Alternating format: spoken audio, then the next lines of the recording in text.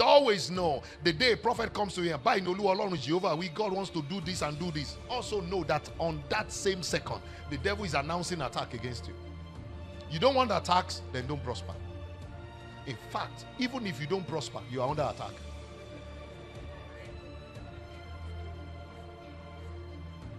Did you get that now? If you don't prosper, you are under attack. So, cuckoo succeed and face the attacks. Are you getting what I'm saying now? Because if you do, they will say. If you don't do, they will say. So, cuckoo do it and let them say. Life is about decisions. I refuse to be a backbencher in life.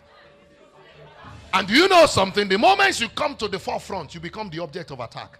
But I think it's good to lead on. Are you getting what I'm saying? It's good to lead on. Poverty gets its own attack. Prosperity gets its own attack. But I think I prefer the attack of prosperity.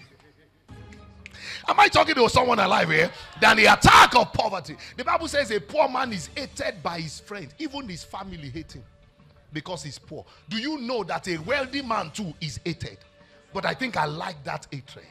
The hatred of prosperity is better than the hatred of poverty. They will still hate you anyway, so prosper and let them hate. That is their own ministry. Their own ministry is to talk, your own ministry is to prosper.